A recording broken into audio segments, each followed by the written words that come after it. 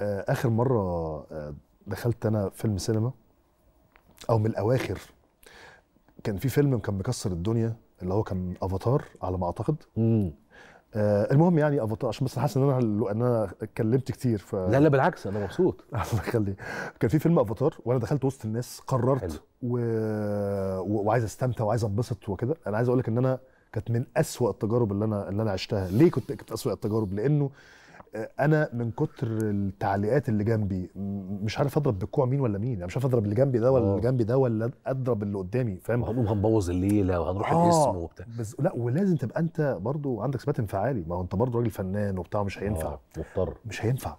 لكن دي سينما زي ما حضرتك قلت. بحب السيما ما, تحرقليش الفيلم ما. تبوظليش الفيلم. فعشان كده برضو رجوعا يا أستاذ يوسف إنه سلوك مرتاد السينما دلوقتي ما بقاش زي زمان. قدسية. صح. ومع التحفظ على كلمه قدسية بس أنا أنا بشوف إنه إنه ارتياد دور العرض آه. السينمائي ليها قدسية كده قدسية ما.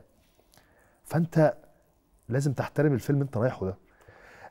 للأسف الشديد ما بتحس إنه الموضوع بقى عادي بقى خلاص. لا إحنا رايحين رايحين السيما.